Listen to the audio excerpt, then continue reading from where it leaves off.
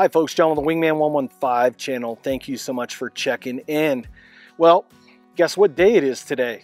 It's not a Monday or a Tuesday or a Wednesday. It's Big Knife Day.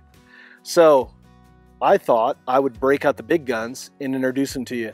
This one is the MHK V.2. Now, if you follow along on the channel, I have done a review on one of these knives a couple years ago. Time just flies by so fast. They revised it. They sent one over to me to test out and we're going to showcase it for you today. So what we're going to do, as always, cut away, do a quick specs rundown. We're going to get up close, let you see this knife up close and personal. It's just beautiful blade. And then we're going to get out here and do a little bit of hard use out in the woods, and then we'll bring it back 360 for some final thoughts. Folks, it don't get any better. I got my Jeep fixed. We're back out in the woods. We're out in the playground, and you're with me. The video starts now.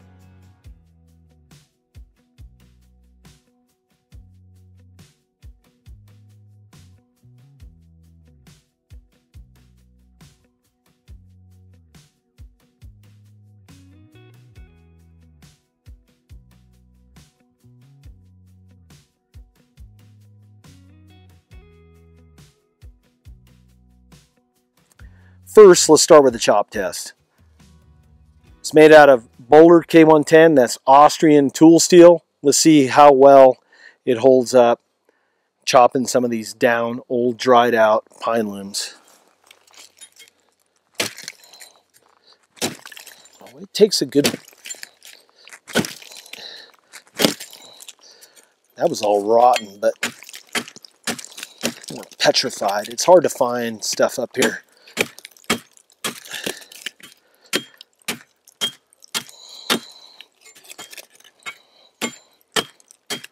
Let me tell you what, if that was greenwood, that would be going right through it. This is like petrified wood.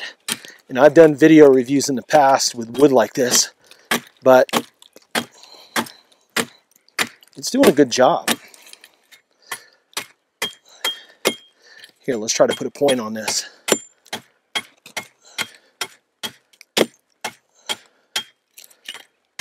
Here, get rid of that. There we go other side. Nice clean cut.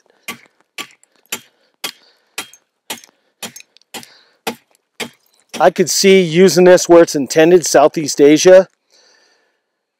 Cutting bamboo, opening up coconuts, fruit, stuff like that. It's going to do just an awesome job.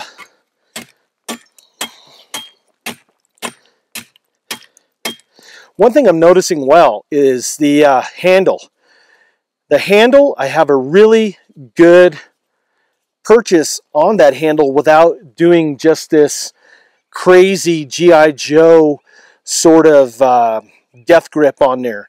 There's enough flare on the pommel in the way it sweeps. It just naturally, here, let's get the pendulum action going, going. Just naturally, just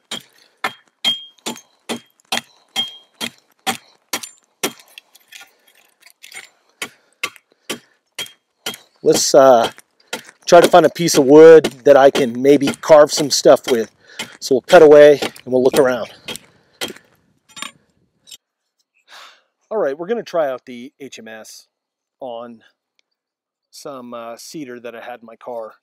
I always leave some firewood in the truck just for those you never know. I always like to be prepared. Maybe it's just the Boy Scout in me.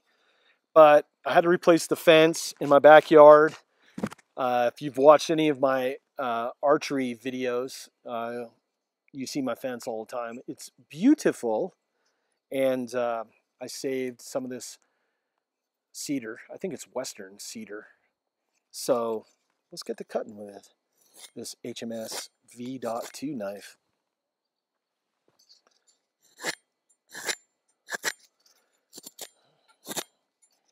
Now, their culture, the Hmong culture in Southeast Asia, these folks are just awesome. Awesome culture, people, and they really have a unique set of skills out there in the jungles of Southeast Asia, making houses, making traps, making implements for household chores and for just kitchen chores, and mostly hunting and gathering. So this knife is really like a multi-tool. There's a reason for everything on this blade. Just the long, skinny, piercing point on there for um, making tools and implements and piercing uh, coconuts and bamboo and you can do a lot with that. And then you have that nice big belly on there, which for chopping, as you know on any big knife, the belly of the blade is where it's at.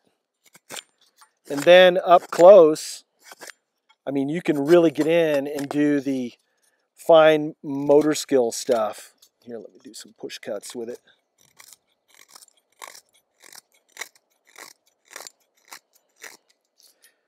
Just beautiful. Now, I'm not going to sit here and make feather sticks and stuff like that. You guys have seen me do hundreds of feather sticks. But I wanted to do a little bit of cutting just to show you the performance of this knife and the handle. Uh, when I reviewed version 1, I think the handles were a lot thinner. This handle, it's made out of G10, and it's profiled really nice to where there is no hot spots. When I'm flailing around with this knife, and I don't wear gloves in my videos. I'm not one of the guys that likes to wear gloves. Um, I just don't. I like to be able to to feel the tool and and be able to use it and work it a little bit more effectively for me. But check that out. I'm going to bring it up close. Just the chamfer around the edges. And then how it's rolled and it's almost got a little bit of a scallop in the front. Just beautiful. Beautiful workmanship. And then a nice lanyard hole. And then, like I said when I was chopping, the way it kind of flares out at the pommel, it really is secure when I was coming down hard and chopping that this wasn't going to fly out of my hands. Now, over there in Southeast Asia, there's a lot of moisture, a lot of rain, a lot of the jungles are just wet all the time. So your hands are going to get wet. If you're hunting and you're going after wild hogs or whatever game, they're going to get bloody and messy. I can see where you're not going to lose your grip on this knife. So,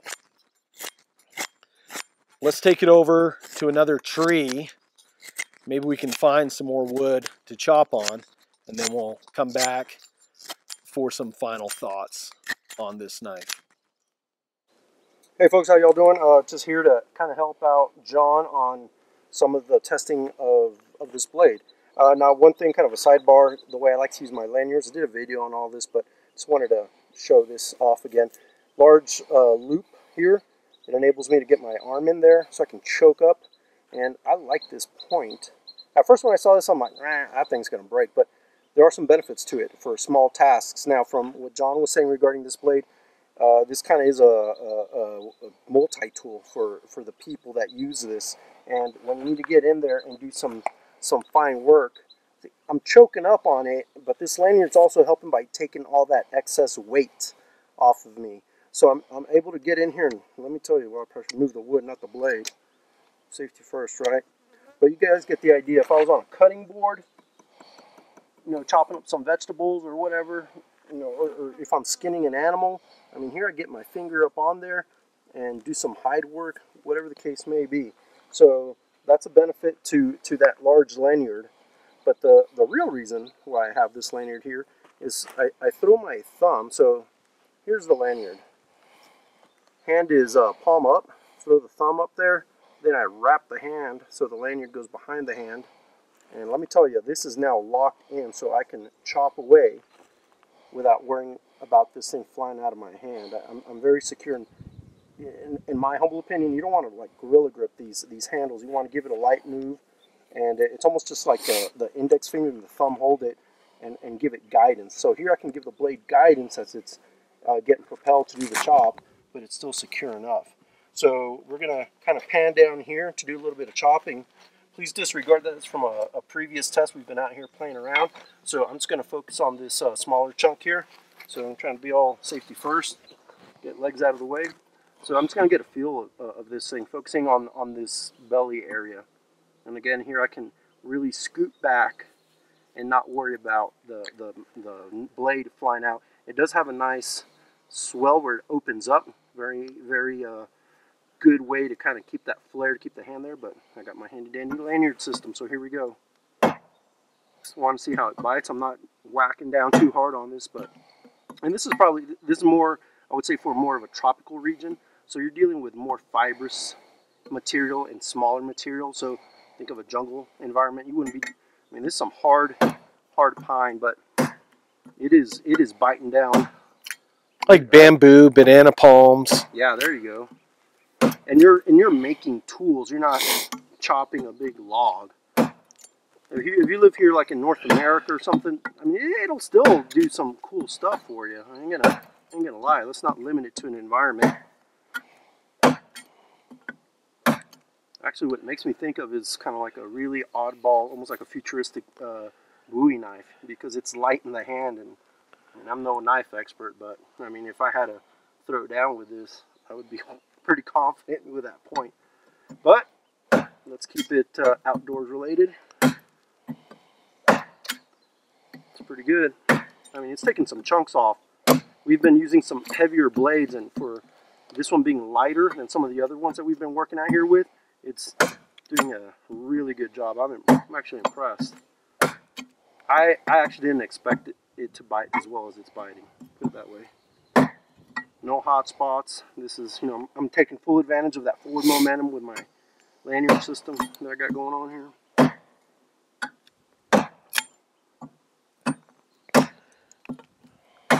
Yeah, it's biting in good. I mean, it's, and I haven't really felt much shock uh, in, to my hand. I like it. It's, I'm, I'm impressed. And then if I want to choke up and do small stuff with it, uh, you can.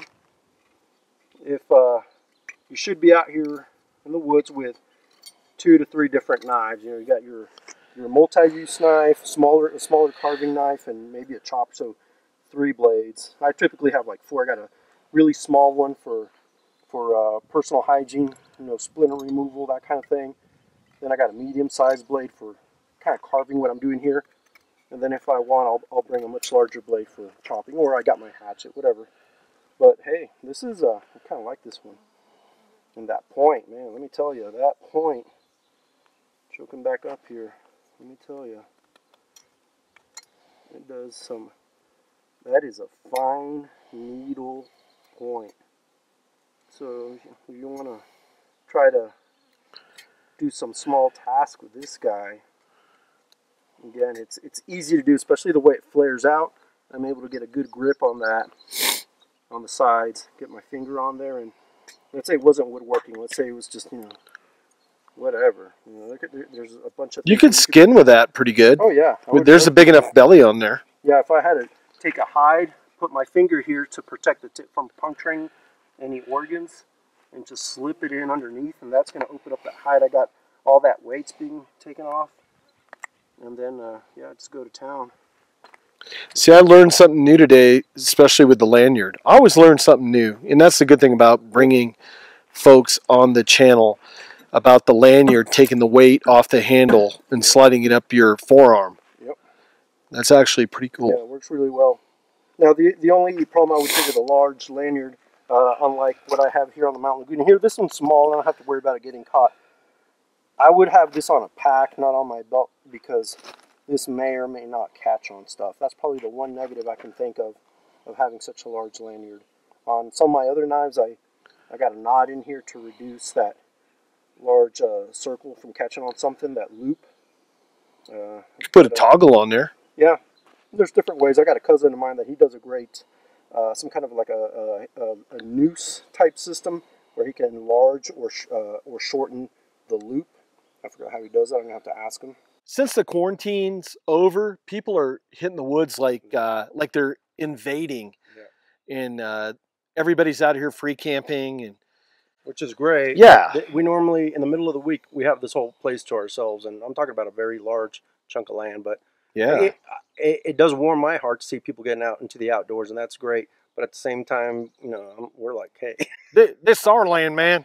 This is our land. You get off our no, we ain't gonna play that.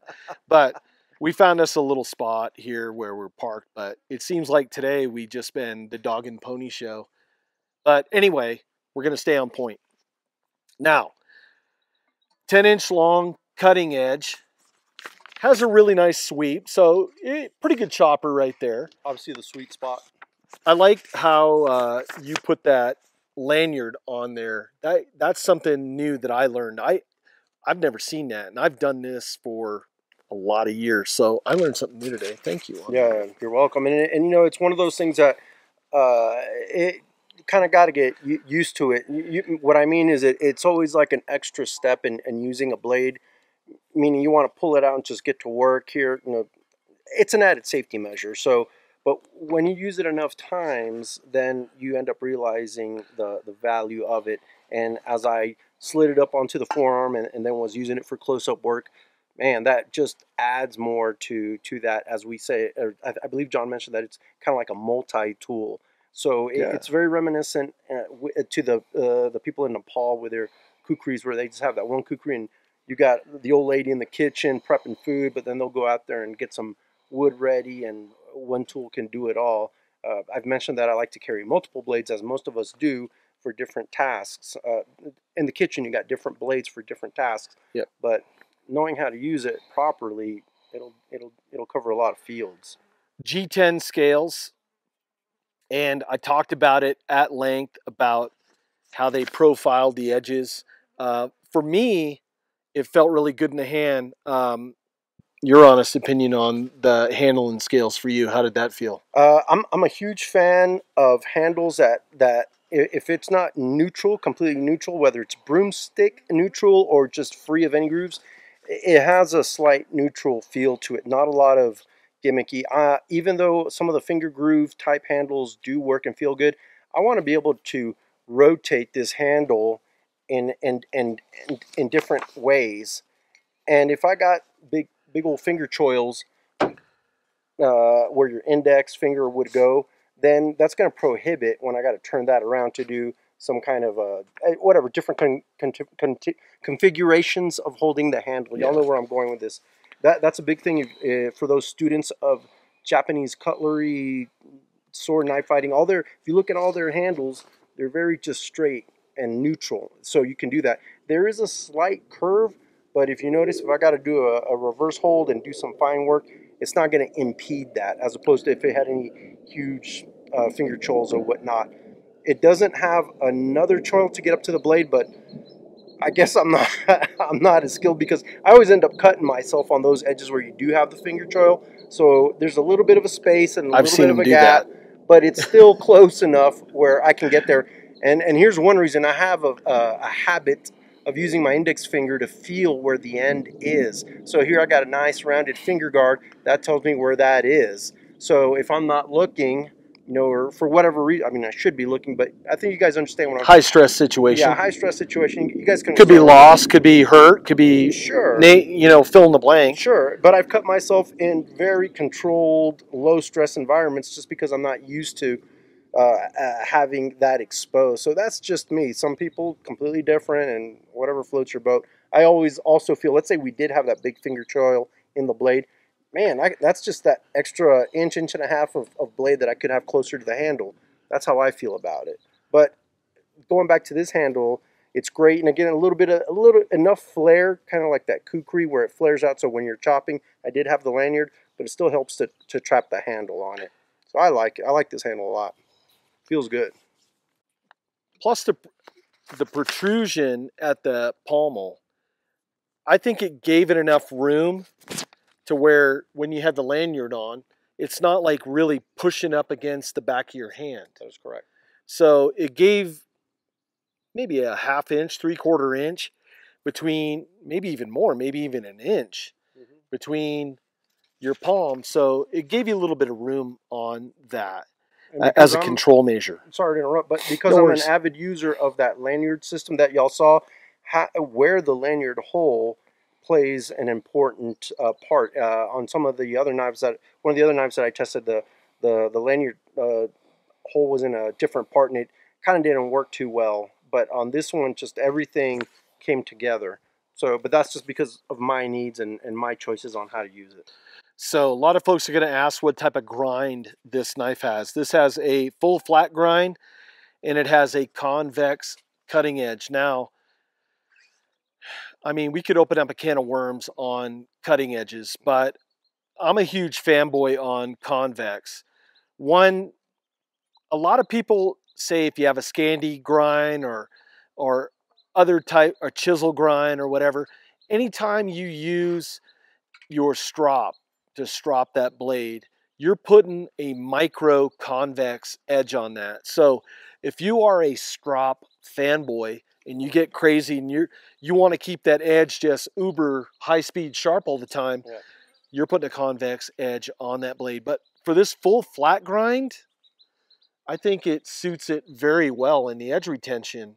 I mean, it's Now, th- this is a good point. still really Be- sharp. uh, depending on how you're stropping, it, it could affect it negatively. Now, also depending on the thickness of, of, of that apex, it, it could affect it negatively or negatively or positively in doing the convex aspect. Because I I do tend to prefer a V grind, but because of of the the stropping that I do, I'm pretty darn sure I end up convexing some of my V grinds to a certain degree. And plus, because I'm freehand sharpening, I'm not a machine. Yeah. I'm, I'm going to deviate a little bit, but uh, I'm going by the results that I have seen off of what, what I do. And I have had poor experiences with stropping on certain uh, thicknesses. And but it again, you know, am, am I holding the spine up too high? Uh, you should the spine should be lower than what you were sharpening when you're when you go to strop. So depends on the person's experience. It could depend on the design and grind and uh, variables and details that we could get into, and that does open up a big conversation. on- on Huge. stropping, yeah. but at the end of the day, it's like uh, uh, try see what works best for you. And at the end of the day, that's what it. I I I've seen stuff almost go to blows at times, having beers around a campfire, talking about serrations and grinds and things like that. So Mm. we're going to keep it friendly, kid show. Mhm. Now, this knife, I believe, I want to say this is one of the prototypes. It has pretty aggressive jimping. Now, it's my understanding that on the actual production model that's going to be sold on their website, that this will be gone and it'll be just straight across. And actually, I'm okay with that. I don't think, me personally, that the way that um, this knife guard is and the handle is, that I really need jimping I, up on the top like that. I'm a jimping fan, but again, it, it depends on the jimping. It depends how it's developed. I, I liked it on here. If, if it's going to have jimping, that's kind of short. I wish it was a little bit more extended. Doesn't Yeah. probably have to be so aggressive, but you know, whatever. I mean, I do kind of like jimping, but I'm I'm I'm not going to lose any sleep over it. Well, it could be if your hands are really wet or bloody or whatever, then And it also you depends would on probably want that. Sure, and, and on what we are doing. If you're still gonna rely on, on some whittling and doing fine tasks, and you Yeah. like having that th- that forward thumb for control, then why not? I mean, if, if you're put if you're there's again here we go back to schools of Yeah. thoughts and and opinions. Opinions are like bungholes. Mhm. Everyone's got one. They all stink. But if you go to extend the thumb, some people say never do that. blah, blah, blah. But if you do, it helps to have a little bit of jimping. Me personally, if they're going to keep the jimping extended a little bit further down the spine because of, of, of different you know people's The motor skills and being able to Sure. work with it up close. Sure, sure. Uh, but uh, you know, take it or leave it. I like it, but if it's gone, no big deal. It's not going to really, you know, I'm not to sleep over it. So let's talk about the sheath. Kydex.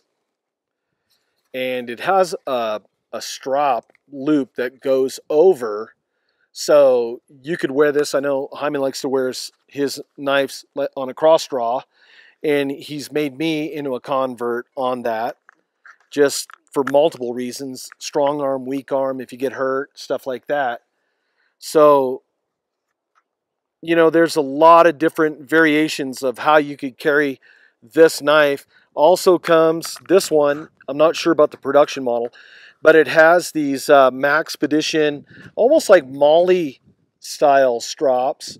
And you could put, gosh, four, four inch belt. So if you're a pro wrestler and you have a WWE belt, you could fit that in there. I'm just joking. I like humor. But um, yeah, it'll fit any size belt in there. And you could strap that into uh, MOLLE webbing. Did you put a Tek-Lok on there? Yeah, you could put a Tek-Lok because they're drilled out and spaced correctly. Okay.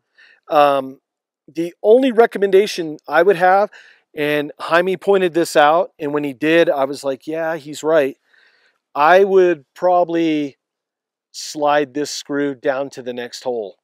And the reason being is, and he had this a couple times, the cutting edge hit, steel on steel. I don't like rubbing steel on steel uh, on stuff like that. So maybe it's up there for um, a little bit of retention and being able to hold that in. But I mean, it has a, here, let's get it near the mic. It has a really good fit. It clicks in there really well. And I mean, I'm not dropping the blade, so it fits really good. So with that, that's a wrap on this video. So I'll leave links for this knife in the video description below. Right down below the title of the video in the video description will be a link on where to get this. If you want to learn more about this and all that, reach out to them. They're very good at answering questions and customer service. And with that, folks, it's a wrap. If you're not a subscriber, please subscribe. But most of all, share the video, share it with your friends. If you like this content and you have friends that like this content, share it because him and I are going to be going out doing archery. We're doing some air gun stuff. We got a lot of cool stuff lined up for this summer. And we want to get the word out to all you folks out there. So, with that, we thank you from the bottom of our heart for all your support. You guys motivate us into getting us out here doing what we love. And we'll see you on the next video. Take care.